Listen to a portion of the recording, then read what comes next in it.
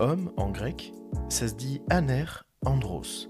C'est la deuxième forme donnée par le dictionnaire. Et c'est un mot masculin.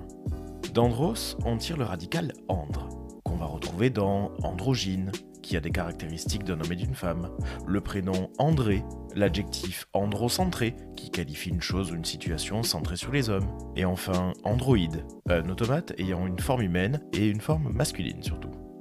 Et en face, on a misandre, celui qui déteste les hommes, face aux femmes par exemple, le prénom Alexandre, le meneur d'hommes, l'adjectif polyandre, qui signifie qu'il y a plusieurs hommes, mais aussi décandre, c'est-à-dire qui possède 10 étamines, donc les organes mâles d'une fleur. Et en biologie, le suffixe andre devient ainsi synonyme d'étamine.